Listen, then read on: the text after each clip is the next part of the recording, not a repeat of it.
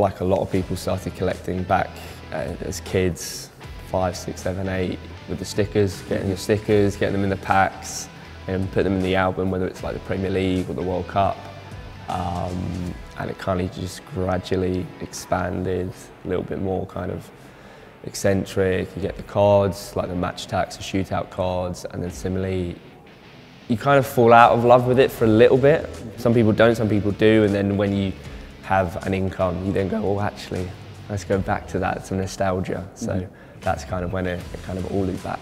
Were you a fan of F1 before? Because I know a lot of people get into F1 through the cards, or were you starting as an F1 fan into the cards? Yeah, yeah, yeah. I've always loved F1. Mm -hmm. I've mm-hmm. always loved one of my youngest memories was watching that, that famous Hamilton race when he overtook Glock on that final lap oh, yeah. to, to win his first world title and just yeah, the adrenaline rush from there and ever since I, I think I've been kind of addicted to it and mm -hmm. just I go to Silverstone every year, I try and go to other races around, around the calendar.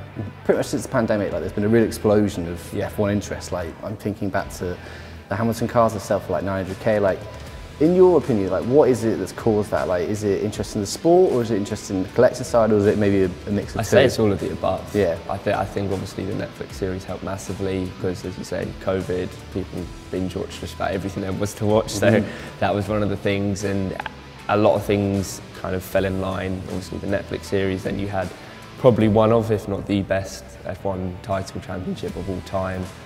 Um, in obviously 2021, and similarly, most importantly for the card collectors, it was the first year of Topps Chrome 2020 F1, the first time a proper or a modern day set had been released mm -hmm. and still to this day there's been three, four sets since then but that's still seen as like the, the holy grail, the, the go-to set.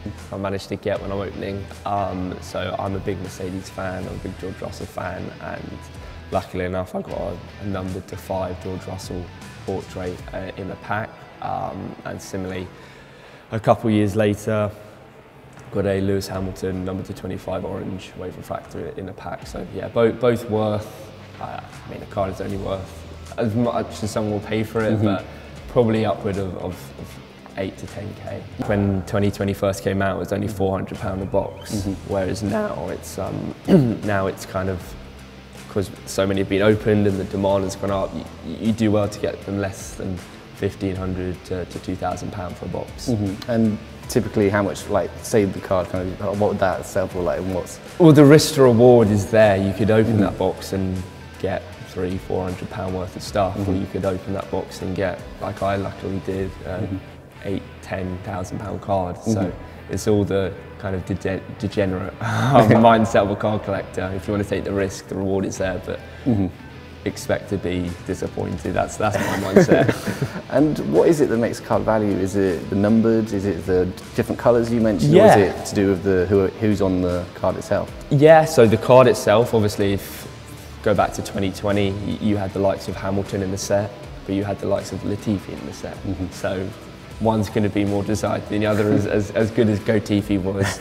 um, but yeah, it's, it's, there's all kinds of stuff. So there's a base card and there's different parallels which kind of determine how rare that card is. So there'll be red cards which are numbered to 5, there's orange which is numbered to 25, gold which is numbered to 50, purple which is numbered to um, 399 and there's other small prints. Um, but yeah, that will determine the value of it and similarly if a driver's doing really well, he's probably going to be a little bit more desired. Mm -hmm. uh, whereas if he's not doing so well, he probably won't be. A lot of people get these cards as investments other people get to collect. So Lando Norris is one of those where a lot he hasn't won a race yet, but everyone knows it's on the cards, and you put him in a decent car, mm. you probably will challenge for a title. So there's a lot of people that have invested in him.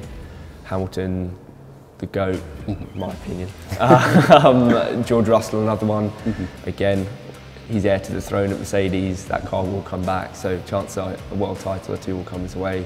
Um, but you never know, and that's the that's the beauty, or you could say the downside of this collectibles game. It's mm. uh, a lot of money to be made, but don't get me wrong, there's a lot of money to be lost as well. Yeah, and how much does real life, you mentioned there, like, I'm thinking in particular Verstappen obviously, because since these cards out, cards have come out, he's the only guy who's won a new championship. Like, yes.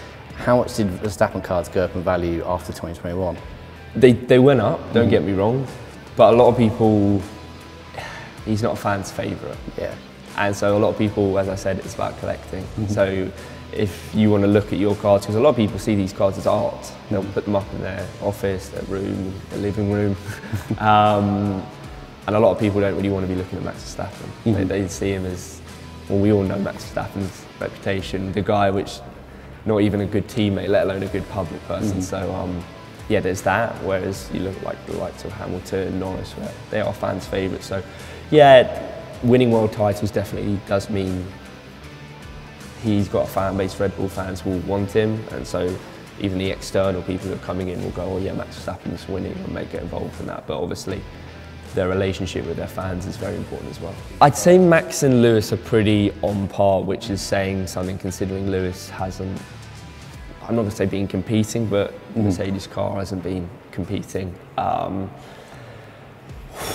Leclerc's another one, mm. very fan favourite, but that Ferrari strategies, let alone the car, is, is, somewhat to be questioned. Um, I can say a top five. I'd say Leclerc, Lewis, um, Verstappen, George, and then Lando, mm-hmm. and then Checo has his fan base. Alonso has a very faithful fan base. Mm-hmm. Um, Albon, very faithful. And you mentioned about, I think, rookie cars do obviously really yeah. well. Like, do we have the opposite scale? So like, I'm thinking of Vettel, obviously retired. Is his last card going to be worth quite a lot? You'd think so, but mm. not so much. Okay. Unfortunately, with a lot of things, out of sight, out of mind. Mm-hmm. And don't get me wrong, you look at the likes of, kind of refer it back to like basketball, Kobe Bryant, Michael Jordan. Um, they're goats, so they're seen as really unbelievable cards. Um, but their final card is more their first card, so mm-hmm. their rookie card. So in 2020, another reason why that set was so just so unique and so unbelievable was because you had three rookies in it, mm. and they were Lando, George, and Alex Albon, mm. three big prospects, especially that year with Albon being at Red Bull. So, um, yeah, in terms of final cards, not so much. A lot of people see the um, that first year, even if it doesn't have that rookie card logo on it, that mm-hmm. first year has been Lewis Hamilton's proper rookie. Like he did have F3 cards, F2 cards way back but not to the standard which the 2020 product was. Mm -hmm. What would be the rarest, most expensive, like valuable card? Like, has it been found yet, or is it? I'd say it has been found. Yeah, it's, it's it is that Lewis Hamilton. Mm -hmm. And you just explain like what was it that made that particular card so special? So it's a one of one. So mm -hmm. there's only one of them. So like I mentioned earlier, there's a number to five red. That superfractor is there's one of them in the world. Mm-hmm. So any kind of die-hard collector, that's where that's where it is, which is why it went for near a million pounds. Yeah. So, uh, or dollars, sorry. I'd say in the 2020 product, just about everything has been found to an extent. There's still a lot of boxes out there, so there is still good stuff to be pulled, which is why the boxes are so so highly desired. But the uh, I've got a feeling, and I'm no doubt I'll be called out on this, but I think the Max Verstappen one of one auto hasn't been found yet. Okay. But um, there's every chance that someone's just got it in a box and it's sitting on their mantelpiece. Do you think that Hamilton car could ever be beat? Obviously, if someone finds that Maxwell, maybe, or was that Hamilton pretty much oh, the best good question. I, I wouldn't say so, mm-hmm. just because of the hype at the time, because of the card itself, because of the release. Um, I, I, could say that card and other cards could be beat if he goes to win an eighth and ninth possibly, and then retires. It then comes into the whole bracket of the Michael Jordan, the Kobe Bryant era of they're the best there has been, probably very likely the best there ever will be. Mm-hmm. So in terms of investments, you'll do well to find one which better than that, but obviously you're going to have to find a, a million dollars to kind of invest in it. yeah. So um, shame. Good, good luck with that. how much interest is there? Because I know as well as the cars, they do these bits where you get like past the race seat. Like how much are they valued at that kind of thing?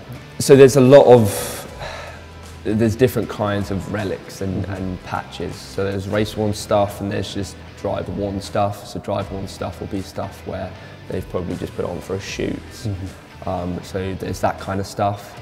And similarly, it's obviously desired.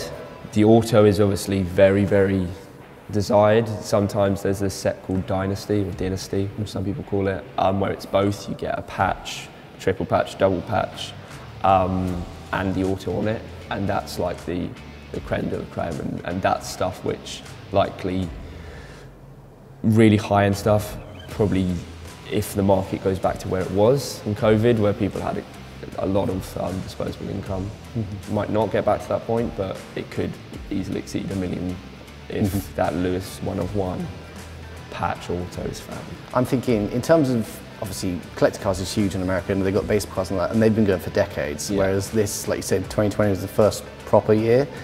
Is it only going to get bigger as like the decades go on?